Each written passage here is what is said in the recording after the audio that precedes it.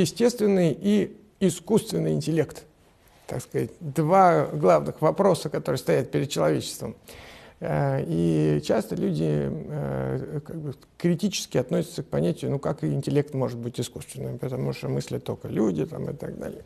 Вот. Но на самом деле искусственный интеллект – это просто термин, это ну, такое, такое обозначение. В 1956 году в Дартмутском университете собралось на тот момент около там, 20 или 30 э, э, человек, которые занимались исследованиями в области вычислений компьютерных, и так совместно уговорились называть это дело искусственным интеллектом, то, что, то чем, сферу, в которой они занимались.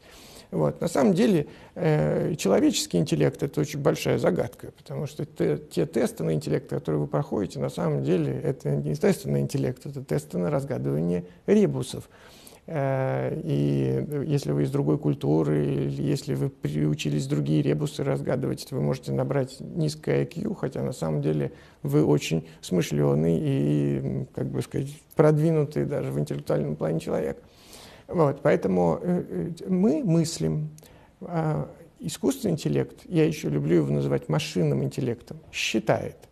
Значит, вот мысль от счета состоит в следующем. Когда вы а, э, мыслите, вы предполагаете как бы пространство, в котором еще ничего нет, и которое вы пытаетесь создать. А искусственный интеллект – это интеллект, машинный интеллект, это который работает в большей степени на то, чтобы какую информацию он может изъять из существующих сейчас э, возможностей. Вот. И пока это принципиальное различие. До тех пор, пока у нас есть способность э, разворачивать свою мысль таким образом, чтобы создавать что-то по-настоящему новое, оригинальное, мы молодцы. Но для того, чтобы новое оригинальное создавать, нужно иметь очень высокий такой образовательный базис, очень большое количество реальных знаний за своими плечами. Вот. И в этом смысле мы проигрываем сейчас машинному интеллекту, и поэтому он способен иногда решать задачи, на которые у человека просто бы не хватило интеллекта.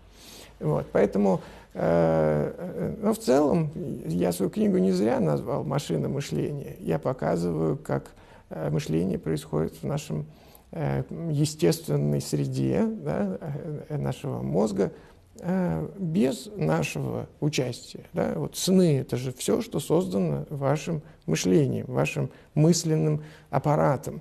Вот. Но вы же не делали их специально, правильно? Откуда у вас появились ваши сновидения?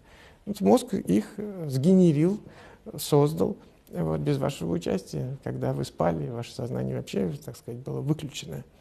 Вот. Поэтому в каком-то смысле мы тоже машины.